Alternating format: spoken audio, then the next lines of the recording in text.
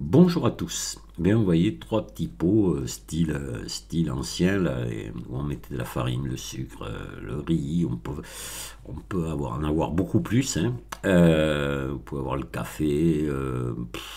je sais pas, il, y en a, suffit de regarder sur internet les, les, assortiments de pots, comme ça vous allez voir qu'on peut faire le café, le, euh, je sais pas, il y avait beaucoup, beaucoup de choses comme ça qui étaient dans des, petits pots en grès, en terre, comme ça, euh, voilà, porcelaine peut-être même. Là, c'est plutôt de, de, la terre cuite. Hein, euh, donc, on va modéliser tout simplement ces trois pots. Voilà, ça, alors là, c'est niveau vraiment débutant, débutant. le but de ce tuto, c'est d'encourager les débutants à continuer à aller plus loin. Je pense que quand un débutant a réussi à faire un truc comme ça, ben, il a envie de continuer. Voilà, donc on, va voir se faire cette petite modélisation très très simple. Je vais aller très lentement et euh, pour que vous puissiez vraiment euh, suivre et faire la même chose. Et je vous invite d'ailleurs à m'envoyer après vos résultats si vous avez envie de le faire.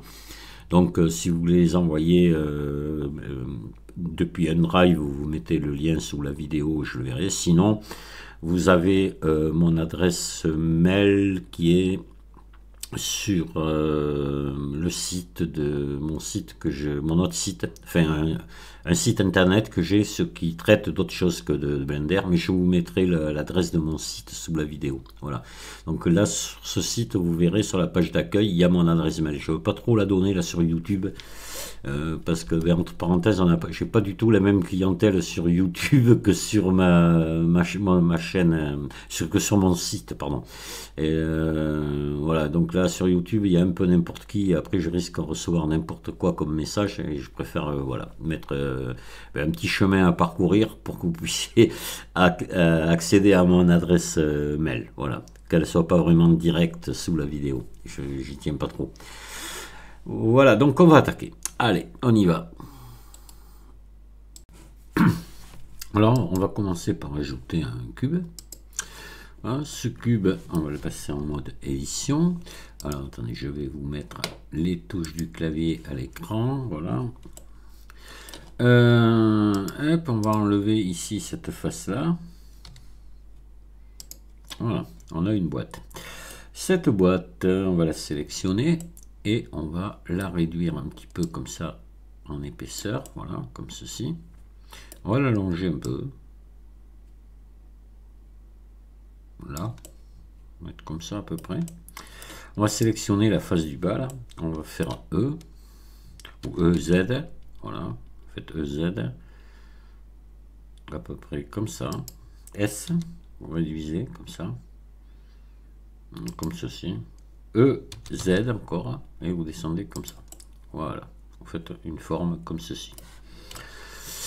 Ensuite, euh, vous allez euh, appuyer sur la touche 2 euh, du, au-dessus des lettres hein, pour passer en mode arrête. Ou ici, vous le faites comme vous voulez.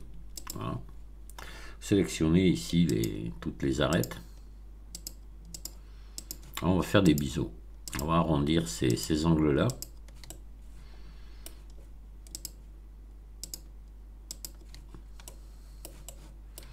Voilà, pour ça, on va faire CTRL B et on va tirer sur la souris, faire de manière à faire un plat comme ça, vous voyez à peu près de cette valeur-là ici autour.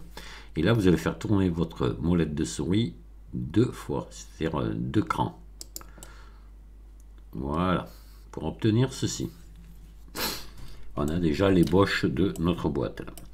Ensuite, vous désélectionnez tout, vous resélectionnez ici cette arête-là, complète et vous faites CTRL B encore. Si vous n'allez pas être obligé de faire tourner votre molette de souris, elle a gardé en mémoire la même valeur que vous aviez mis déjà en haut. Donc vous faites comme ça à peu près. Resélectionnez celle-ci. Et pareil, encore CTRL B. Et vous tirez encore sur votre souris. Et vous venez faire ceci. Voilà, comme ça, vous voyez, vous avez une jolie forme comme ça en bas. Voilà.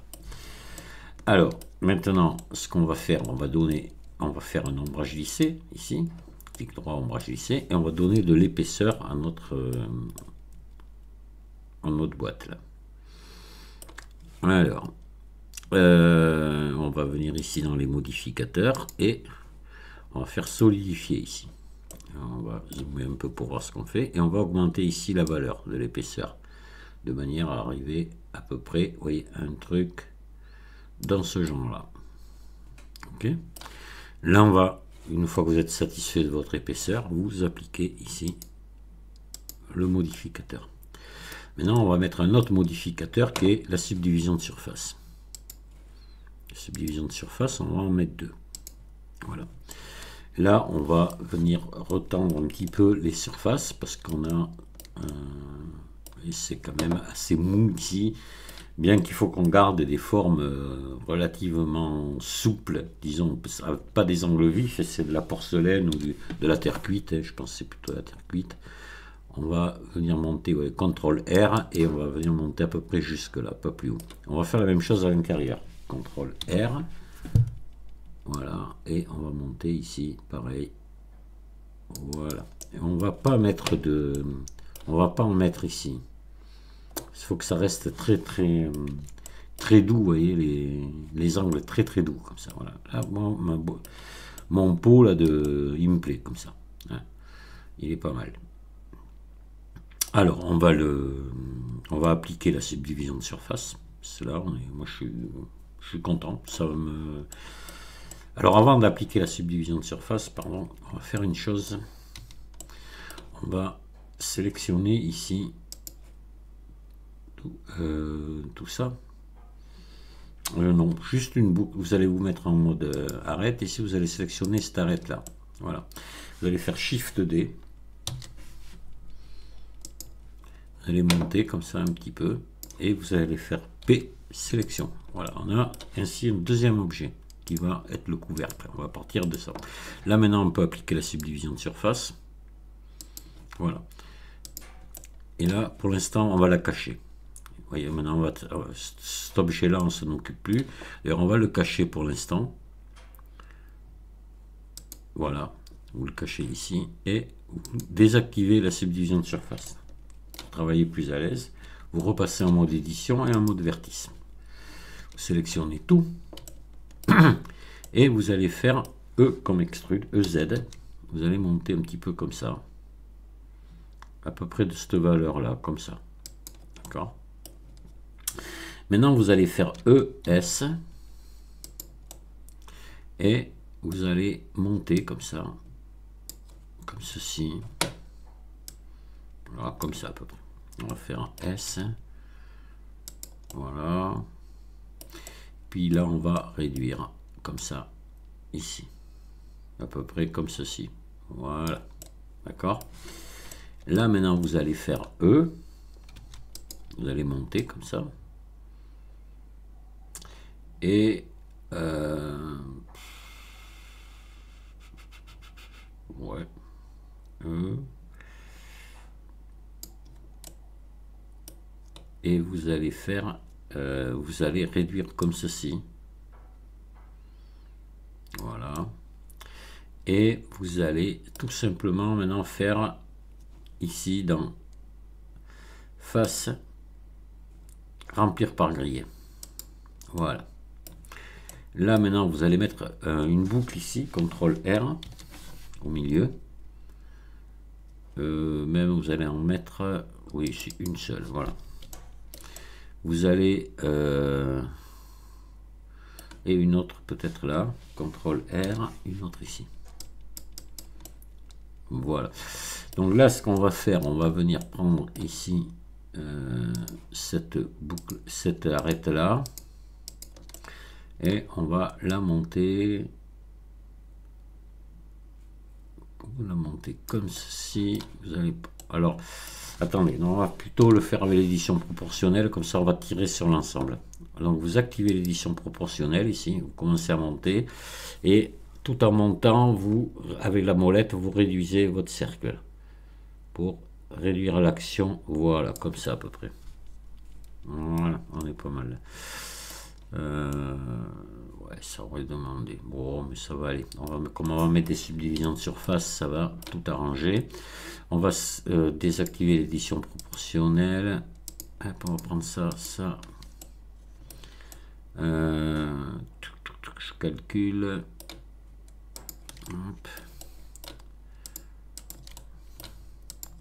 Voilà, on va monter ça comme ça et l'élargir un petit peu comme ceci. Voilà. Alors là, il faudrait monter aussi à ce moment-là tout ça. Va sélectionner ça, ça.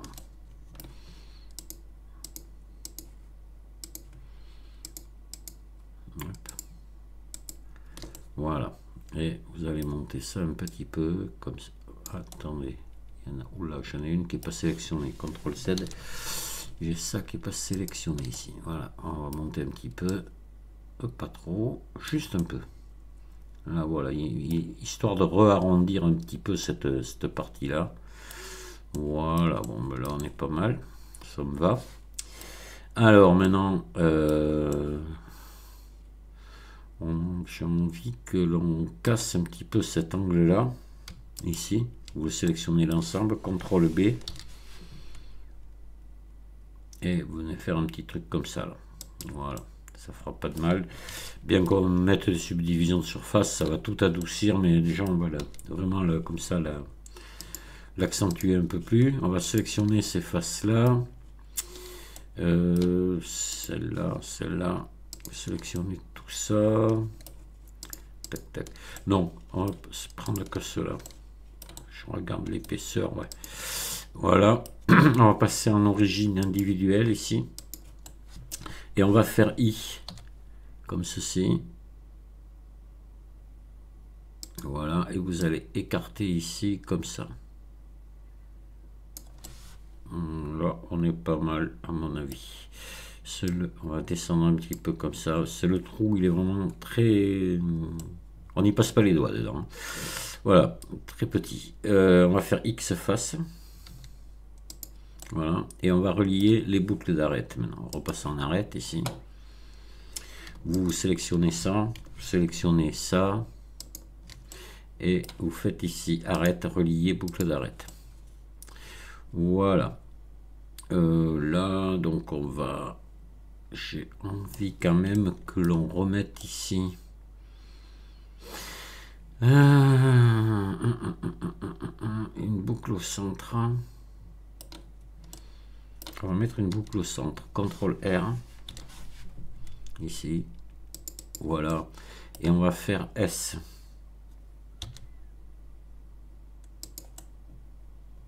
Voilà, histoire de arrondir un petit peu là au milieu, même on peut faire ça un petit peu. Voilà. On va voir ce que ça donne avec les subdivisions de surface, mais à mon avis, on sera pas mal. On a un truc comme ça qui est pas mal. Alors là, maintenant, on va euh, sélectionner ici tout le tour. Vous allez faire ES, vous allez donner une valeur légèrement plus grande que celle que vous avez mis à l'épaisseur euh, de celui du bas. Là, voilà, on est pas mal, je pense. On refait ES. Voilà. Et là, on refait ES encore. Comme ça, à peu près. On vient réduire comme ça. Voilà. Et on va monter ça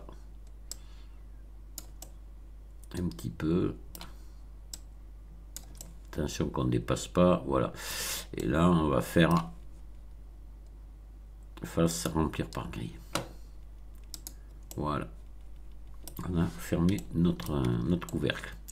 On ombrage lissé et subdivision de surface. On les, on les remet. Voilà, on regarde ce que ça donne. Ça me paraît pas vilain du tout. Voilà, des jolies petites formes. Alors, ce qu'on va peut-être juste faire là, on va mettre une boucle ici, mais alors... Voilà, hop, on va s'arrêter là. Peut-être une autre, une deuxième. Juste en dessous. Et pas trop bas. Voilà, comme ça. Voyez, pour donner un petit peu d'épaisseur comme ça, avec des angles, tout en gardant des angles très doux. On va sélectionner, on se met en mode face ici, on sélectionne toutes les faces ici on va faire EZ. On va redescendre un petit peu comme ça. Voilà. Regardez ce que ça donne. Et on va laisser comme ça, on ne pas là. On va laisser tout, vous voyez, tout, tout très doux comme ça. ça me paraît bien. Notre couvercle, il est pas mal du tout. Voilà. On va appliquer les subdivisions. Vous n'êtes pas obligé, mais là on va les appliquer. On va regarder comme ça ce que ça donne au niveau maillage. On a quand même un joli maillage. Voilà, qui est sympa. Allez, on va refaire apparaître le, le pôle. Donc là, on va re, vous faites objet, définir origine, origine vers géométrie, voilà. Et on va se mettre en vue 1, on va le redescendre dessus, un petit peu comme ça. Et moi, je l'agrandirai un tout petit peu. Mais alors, pouf, non, même pas. Je pense qu'il est bien. On peut le descendre un peu plus. Non, il est bien comme ça. Voilà, on a alors... Euh, je trouve un peu haut mon truc là. On va essayer de réduire un petit peu la hauteur. Je trouve un peu haut. Alors là, on peut encore le faire. Hein. On va le faire en, plusieurs fois. Donc on va euh, se mettre en mode vertice comme ça, en mode transparent Z. Vous allez sélectionner ici tout ça et vous allez le monter comme ça. Maintenant vous sélectionnez ici et vous montez comme ça là. Voilà, les proportions sont bien meilleures. Hmm. C'est bien. Voilà. Là, on a notre... Euh, je regarde, oui, j'avais appliqué les subdivisions de surface, là, et là aussi, donc c'est bon. Voilà, donc là, maintenant, on va s'occuper de texturer tout ça, parce que maintenant, on en est, là, quoi. Vous voyez, c'est une modélisation qui est relativement simple. Allez, on, va donner, on va passer ici. Hein. Alors, on est sur, euh, cycle. Hein. Euh, on est sur cycle. On va venir mettre ici nouveau. Et on va mettre une texture rose. Un rose. Un rose un peu jaune, comme ça. Voilà, voilà. Là, on est bien. Vous êtes dans le ton. Moi, c'est bon. Le, truc, je l'ai devant moi. Hein. donc. Euh, voilà, donc là, on va baisser la rugosité. On laisse les spéculaires à 0,5. On va baisser, je baisse à 0,104. 0,104. On va laisser comme ça pour l'instant. On affinera si besoin. Ok? Voilà. Euh, ça, la teinte de lustre, vous pouvez la baisser. Mais ça ne, fera, ça ne fera rien. Et on va remettre ici, évidemment, le même matériau. Voilà. Alors, l'éclairage, l'éclairage va avoir beaucoup d'importance. Moi, j'utilise un éclairage studio HDRI. Euh, je ne sais pas si je peux vous le montrer là, prévisualisation. Ouais, on le voit pas. Quoi. Mais voyez, si je retire, en gros, voilà ce que c'est. Alors ça, je ne vais pas rentrer dans les détails, j'en ai déjà beaucoup parlé. Eric de la chaîne SVM6 ici. Donc c'est un éclairage studio, noir et blanc, c'est tout, il n'y a pas de couleur. Hein. Euh, mais ça, déjà, j'en ai déjà longuement parlé, donc je ne reviens pas dessus. Je vous conseille ce genre d'éclairage pour euh, faire ce, genre de modélisation. C'est une image HDRI euh, studio, c'est-à-dire ne pas prendre une image extérieure, d'extérieur, de bois, de, d'architecture ou comme ça, ça ne sera pas terrible. Pour ce genre d'objet, euh, l'éclairage studio et l'image HDRI studio est beaucoup mieux. Hein, voilà. Alors, on va euh, donc euh, commencer par ben, maintenant mettre des images dessus. Donc, alors, les images, ben, on va en préparer une hein, pour, commencer. Donc, ce que je vais faire, je vais réduire Blender. Et j'ai préparé un petit dossier ici avec des fleurs. Donc vous, vous je ne vous donnerai pas d'image à télécharger, je vous laisse faire ce que vous voulez. Voyez, il faudrait des trucs dans ce genre-là. Voilà, ça c'est pas mal, ça passe bien. Euh, je sais pas si je prends celle-là d'ailleurs ou si je prends celle-ci qui est pas mal aussi. Voilà. J'hésite entre les deux. On va prendre celle-là. Allez, on va prendre celle-là. Donc je vais l'ouvrir, euh, je vais l'ouvrir avec GIMP parce que c'est une, en réalité, elle est en JPEG, elle n'est pas en PNG. Donc il faut, il faut la transformer en PNG avec euh, de l'alpha au fond. Donc on va l'ouvrir avec GIMP. On va faire euh, sélectionner euh, par, par couleur. Je vais sélectionner ici et je vais faire édition effacer. Voilà. Et sélectionner aucune. Voilà, voilà ce que j'obtiens. À mon avis, ça devrait, ça devrait gazer ça. On va, on va voir. De toute façon, on va, on va enregistrer ça. On va exporter sous. Voilà. Et ici, je vais mettre du PNG à la place PNG à la place de JPEG et j'exporte. Voilà, on va tenter avec celle-ci. Maintenant, mettez-vous ce que vous voulez. Donc euh, là voilà mon image en PNG qui est là. Donc je reviens sur Blender et je vais euh, voilà me recentrer ici sur mon, truc je vais me mettre en, face comme ça et je vais sélectionner je vais la mettre assez haute comme ça ici. Euh, alors avant attendez alors avant ce qu'on va faire on va mettre un petit liseré en haut ici que ça serait sympa. Alors on va faire un CTRL R ici et vous allez mettre ici une boucle de plus voilà comme ceci. D'accord? Vous allez sélectionner ces faces, cela qu'on vient de créer, là, ces petites faces tout le tour. là, non, c'est pas bon, celle-ci. Voilà. Et ici, on va revenir dans les matériaux, on va faire plus. Et on va mettre nouveau. On va mettre le même. Voilà. Et on va ici différencier. Voilà, ça sera le matériau 002. Et on va changer ici la teinte, on va partir sur un bleu. Voilà, on va partir sur un bleu comme ça pour l'instant. Et on se le réglera après en fonction du reste. Voilà, que ça tout soit... Euh, et j'assigne. Voilà. Vous voyez, on a un petit liseré bleu en haut qui est sympa. Maintenant, on va sélectionner ici ces faces-là.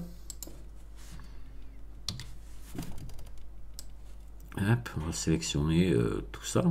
Et on va faire tenir notre image là-dedans. Voilà. Et dessous, on aura l'écriture. On va mettre l'image ici.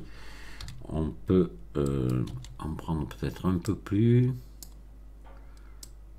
Hop. on va prendre ça. Voilà, on en a une de plus apparemment. Ouais. Attendez là. Non, c'est voilà, on est bon.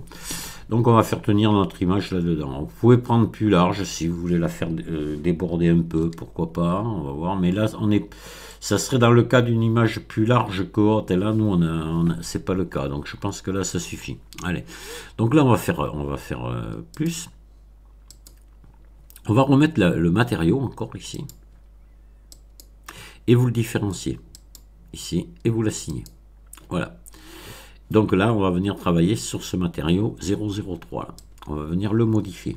Donc on va, vous ouvrez une nouvelle fenêtre et vous allez venir ici dans l'éditeur de shader.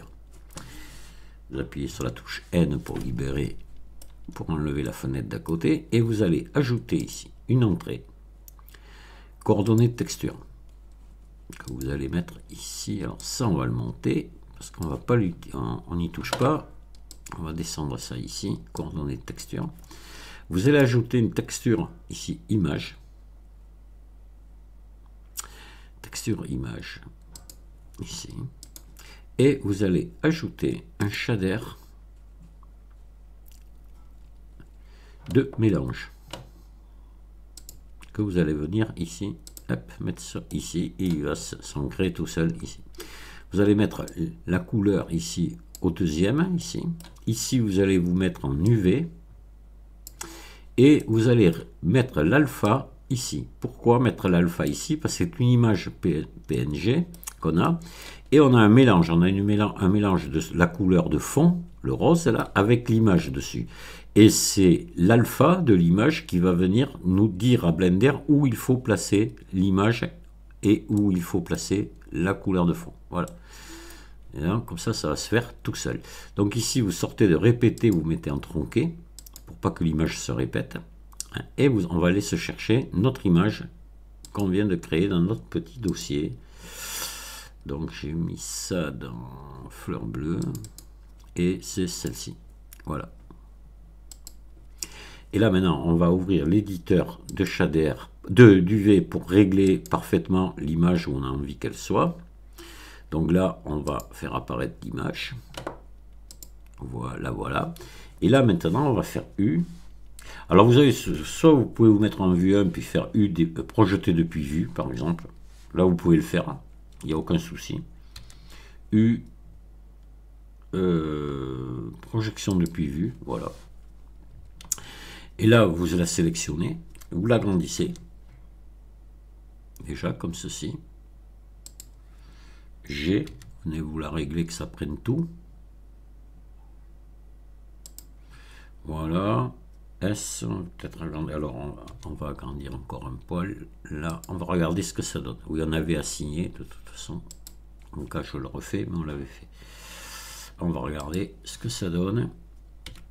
Voilà. Alors, on a notre fleur bleue, là, qui est, vous voyez, sur le sur notre peau. Alors, voyez, c'est bleu, c'est un bleu qui est pâle, quoi. Ça va pas... Euh, pour moi, c'est... Moi, sur le modèle que j'ai, j'ai un bleu beaucoup plus foncé. Bon, elle est sympa, notre fleur. Mais on va quand même modifier la teinte du bleu. Donc, pour ça, on va revenir ici dans euh, l'éditeur de shader. Et on va venir se rajouter ici un shader. On va faire ajouter couleur gamma on va mettre un gamma ici. Vous allez récupérer ici ce, cordon, le brancher ici, et là, ici. Vous remettez celui-là ici. Et vous allez monter ici la valeur, jusqu'à que vous obteniez un bleu dans, à peu près dans le style de l'autre.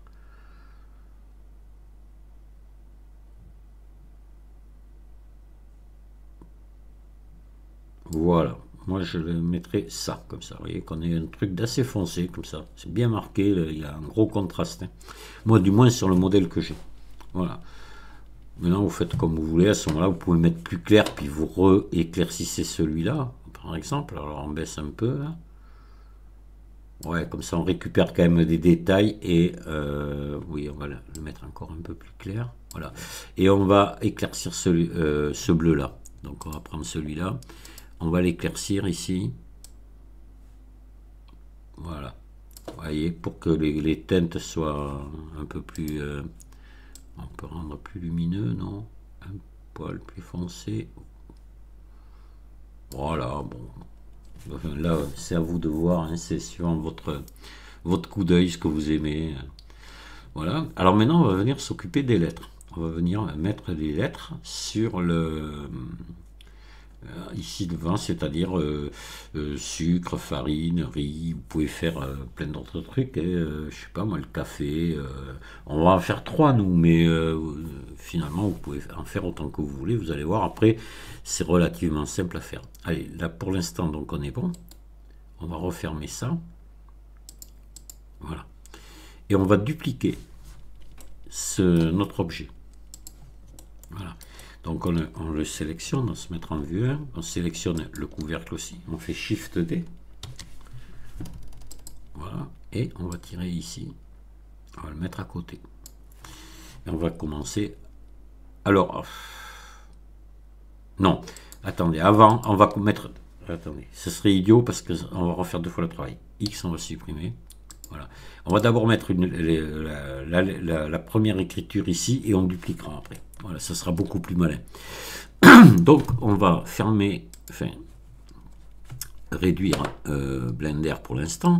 Et on va ouvrir GIMP. Alors là, vous, GIMP, ce que vous voulez, euh, Krita, euh, Photoshop, ce que vous avez sous la main? Moi, je le fais avec GIMP. J'ai d'autres logiciels, mais je le fais avec GIMP. Je remets tout ça par... Donc, je vais faire fichier nouvelle image. Et je vais me prendre un A4 ici. Voilà, que je vais mettre en paysage, pas portrait. Et là, je vais mettre du texte. Donc le texte, là, je vais mettre du bleu. Voilà, on va mettre un bleu euh, comme ça pour l'instant. Et pareil, on le réglera euh, après en fonction du reste de l'image. Voilà. Donc là, je vais faire texte. Voilà, donc il, a, il garde le bleu. Et l'écriture, euh, là, vous mettez la police d'écriture qui, vous plaît. Je sais pas. Il y aurait peut-être des trucs. Alors là, je ne vais pas trop m'attarder là-dessus. Il y aurait sûrement des trucs sympas à faire. Vous choisissez une police qui vous plaît. Donc je vais mettre ici euh, farine. Voilà. Moi je vais mettre cette. C'est vrai que c'est pas, pas terrible. Je pourrais peut-être trouver autre chose de mieux. Pas de, l'italique, peut-être ça serait sympa. Je vais regarder si j'en ai pas une par là qui traîne. Une jolie écriture en italique. Ah, celle-ci, que ça donnerait? Ah, ça me plaît pas trop. Ça fait moderne ça. Celle-ci plutôt? Ah, celle-là, elle est sympa. Elle est sympa. Oui, bon, on a plusieurs choix. C'est à vous de voir ce qui vous ferait plaisir. Ah, celle-là. Ah, celle-là, elle est pas mal. Celle-là, elle est pas mal. J'aime bien. Allez, je vais me prendre ça. Vous, vous mettez ce que vous voulez. Alors, on va l'agrandir.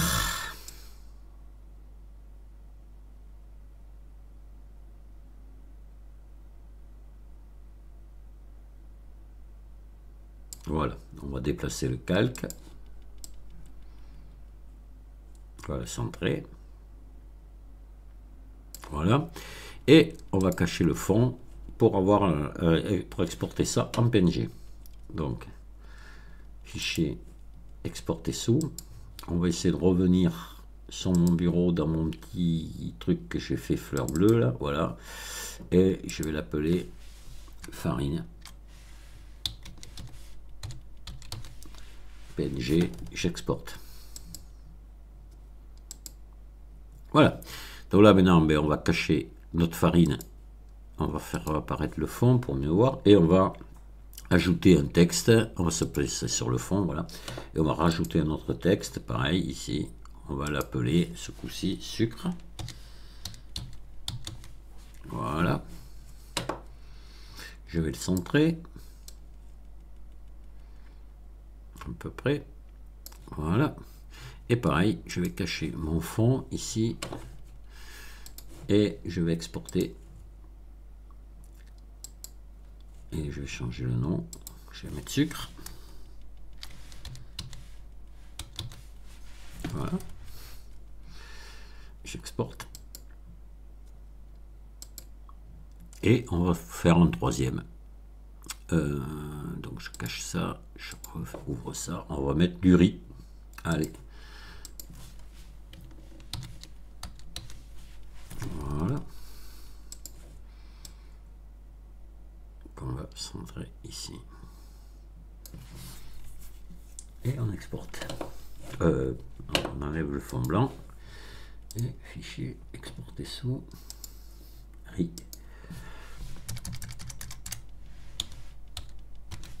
hop. Exporter. Voilà, on va regarder si tout est bien dans le dossier. Alors, j'ai bien mon sucre, j'ai bien ma farine et j'ai bien mon riz. C'est parfait. Allez, on ferme tout ça. On va fermer GIMP. On n'en a plus besoin. Et on revient sur Blender. Allez, donc ça, on va essayer d'intercaler ça dessous, là. Euh, ici, à cet endroit-là.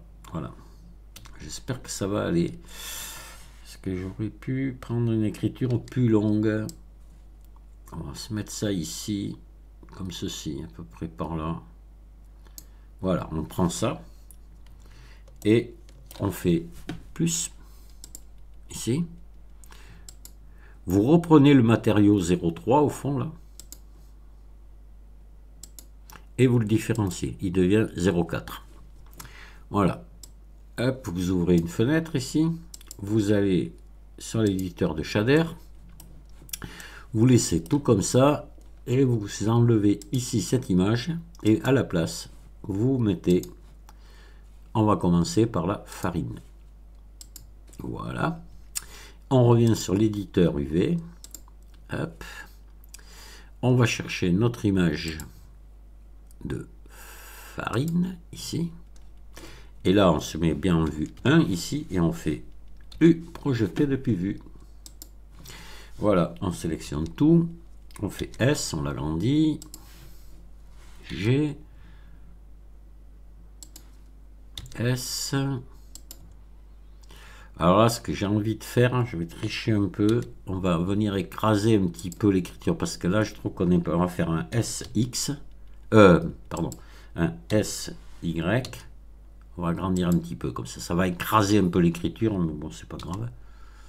Voilà, on va se mettre au centre, à peu près centré. Voilà, et on assigne ici, on n'oublie pas. Et on va regarder ce que ça donne. Voilà. Alors le bleu, il va pas. Le bleu, on va le retoucher. On va le retoucher. Pour ça, on va venir dans l'éditeur de shader, ici. Et vous savez qu'on avait mis notre gamma ici. On va venir travailler sur notre gamma. On va le descendre. Au BAE, hein. je pense qu'à on en est pas mal. On va laisser comme ça. Voilà. Allez, on va faire les autres maintenant. Donc là, hop, on joint ça. Ouais, c'est un peu vif. Ce bleu là, il est un peu vif ici par rapport à. Bon, enfin, on peut laisser comme ça, vous, le réglerez comme vous voulez. Donc, on, sélectionne notre peau ici, on sélectionne le couvercle, Shift D. Et on vient ici. Voilà. Et on va donc venir changer ici cette texture. Donc, pour ça, on va passer là on est, dans nos, textures là. on, le sélectionne à lui. Et donc c'est le matériau 04 là, pour l'instant. C'est le 04. Euh, donc ce 04, on va le remplacer, c'est-à-dire qu'on va venir cliquer ici. voyez? Par le 05. On va revenir ici dans l'éditeur de shader.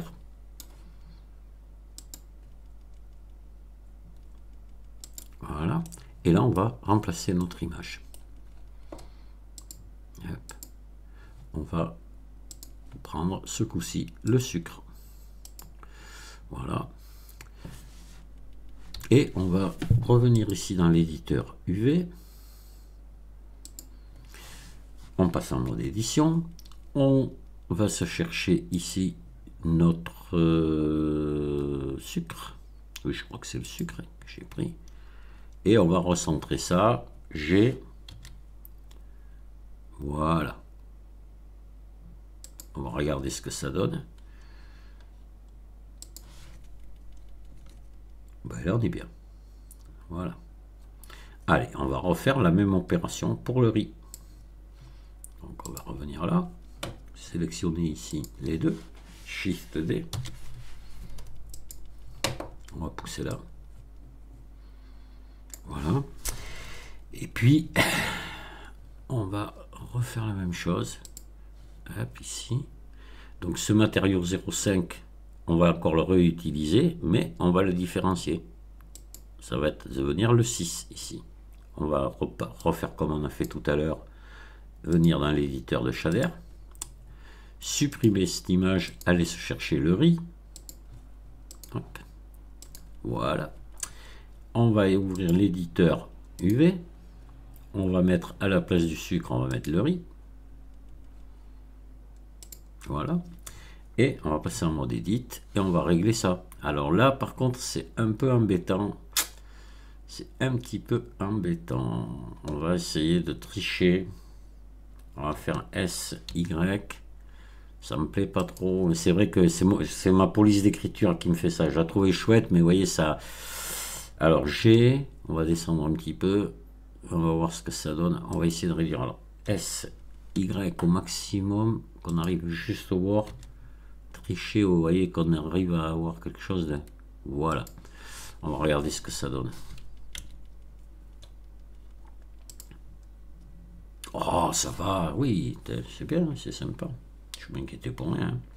Voilà, donc on a fait nos trois pots. Si vous voulez en faire 4, 5, vous faites ce que vous voulez. Vous continuez la même méthode. Alors ce qu'on va faire maintenant, on va se mettre un, plan là-dessous. On va ajouter un plan.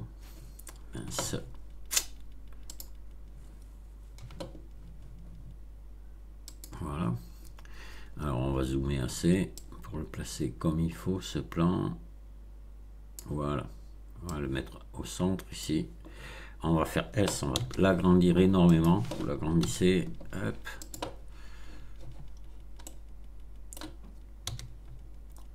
Voilà. Et là, vous allez vous centrer ici sur vos, images. Alors là, comme vous voulez, ça, ça c'est à vous de voir. Hein. on va se mettre comme ça, un petit peu en biais. CTRL ALT 0. Bon, ben, là, on est pas mal. Q. Je vais verrouiller la caméra à la vue, recentrer. Voilà, on va se mettre comme ça. Pour voir notre image bien au centre. On va mettre une teinte à ce, ce là. Alors pour ça, je vais me remettre en rendu ici. Et je vais faire un nouveau ici. Je vais prendre, peut-être partir sur un, je sais pas, un vert comme ça.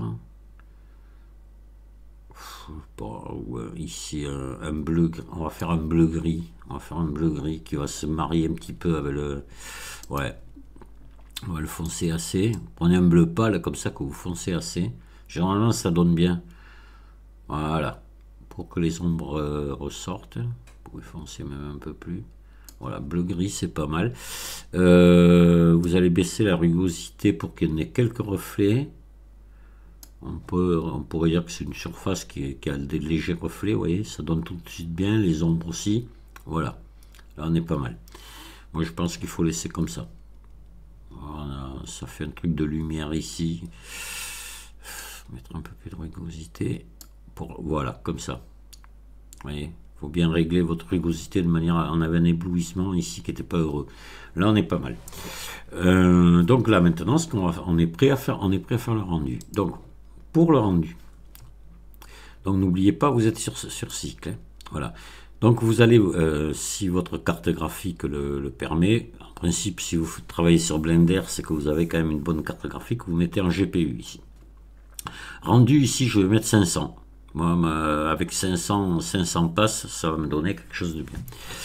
Par contre, le débruitage, je vais le virer au rendu. Je ne vais pas le mettre. Je veux aucun débruitage. Après, vous en avez un autre qui se balade, je sais plus où. Je sais plus où. Il faut pas qu'il soit coché. Je me rappelle plus où. Il y en a une autre case débruitage qui est, je sais plus, mais enfin il faut pas qu'elle y soit. Aucun débruitage. Euh, pour tout simplement, vous allez voir après, pour avoir un, bon gain de temps au rendu, le débruitage, on va le faire nous-mêmes après et ça ira très vite. Vous pouvez cocher cette case-là, Adaptative Sampling. Voilà, parce que qu'est-ce qui va se passer si vous cochez ça? Ici, vous voyez tout le tour, vous avez un, ton assez uni ici quand même. Et Blender va euh, passer beaucoup moins de temps, il va passer beaucoup plus vite sur le fond ici. Voilà, donc on va gagner un petit peu de temps. Il va s'appliquer à travailler ici partout où il y a des détails, mais sur ce qui est uni là, il, ira plus vite. Voilà, donc vous la causez, vous la cochez, pardon, et pas le rendu.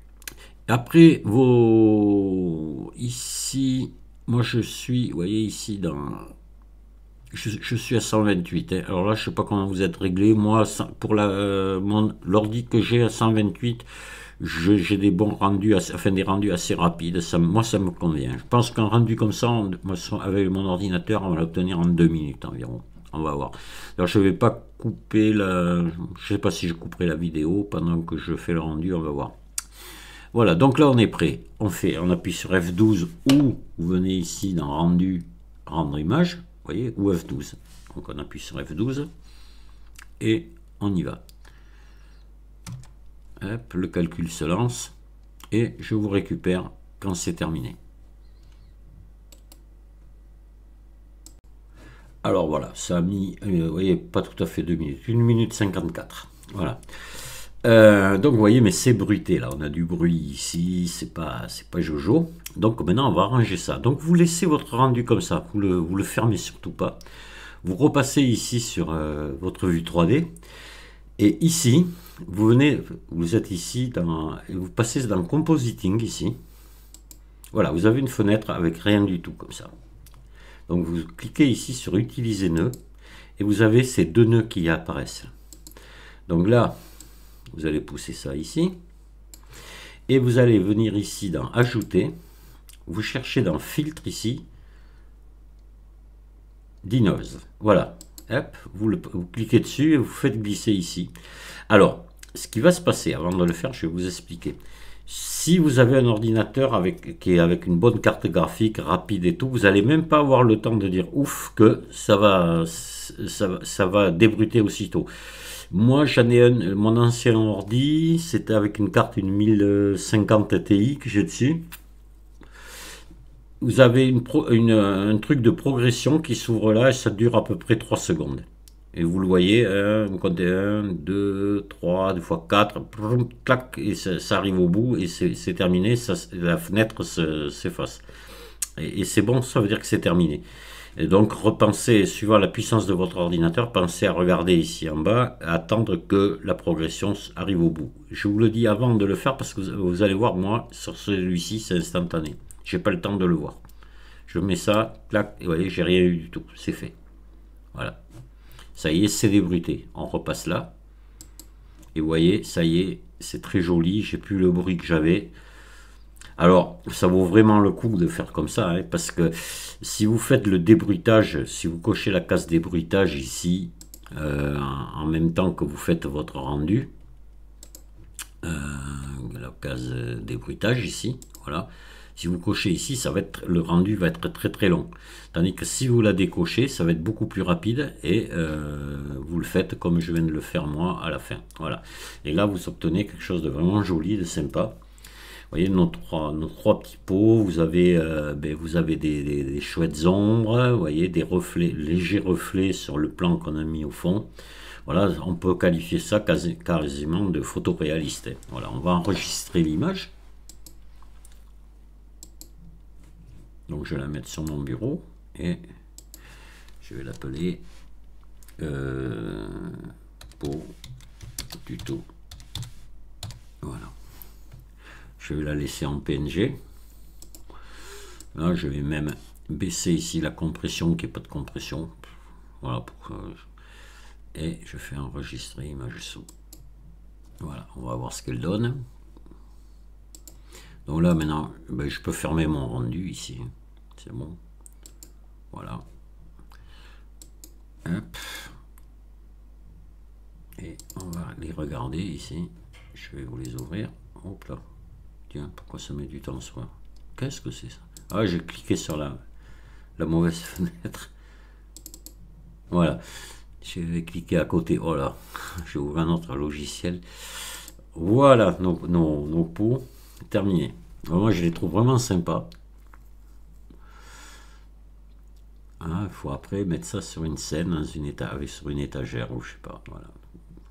Vous voyez, c'est très très simple à faire et vous obtenez quand même quelque chose qui a de la gueule, qui est, ouais, qui est vraiment photoréaliste. Hein. Là, vous avez l'impression d'avoir les peaux devant vous.